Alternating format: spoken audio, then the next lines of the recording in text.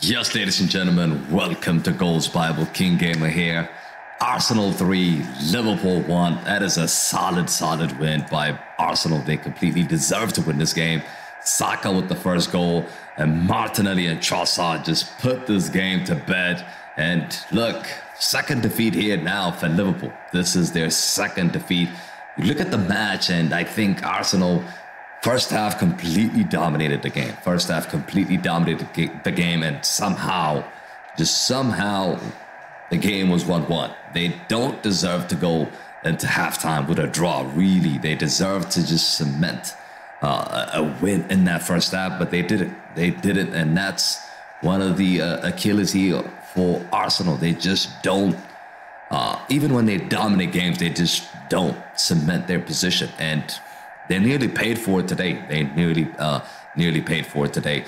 Uh, first half, Liverpool just completely struggled. They struggled to control Arsenal. Saka on the on the on the on the right, Martinelli on the left. They just causing them a lot of issues, and just Liverpool just could not deal with it.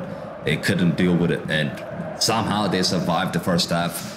Went to the first half 1 1 with the Saka goal that Gabriel uh, puts it in his own net for Liverpool. And then the second half, I, I thought actually Liverpool uh, played better in the second half. They played better. And then they did the same thing that Arsenal did, which is a calamity at the back. The goalkeeper, Alisson and Van Dijk, they just were so confused. Alisson came out and completely missed the ball. And Martinelli just found a wide open goal. Uh, just tap it home, really.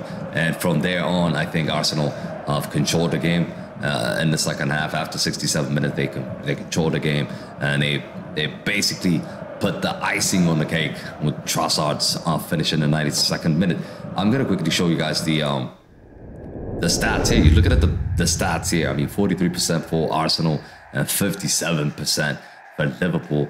Uh, yes, Liverpool played down a man. Konate was sent off later on to, uh, in the game, but you look at the map. You look at the the amount of shots you can see that Arsenal have dominated 15 shots, seven shots on target. They created six big chances in this game, and they just didn't take most of the chances. They did not take most of their, their chances in this match.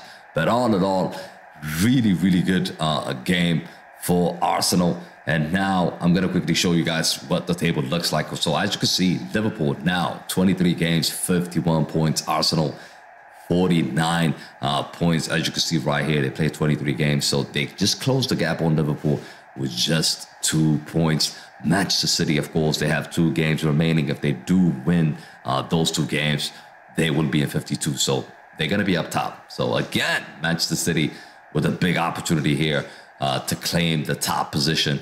But look, man of the match for this game, who are you guys to say? Let me know in the comment sections. It has to be, I think it has to be uh, Saka. Gonna give it to Saka. It does look like he is man of the match here as well. I'm definitely gonna give him uh, the man of the match. First goal came from Saka. Havertz threw on goal, missed it, the opportunity, but Saka puts it in.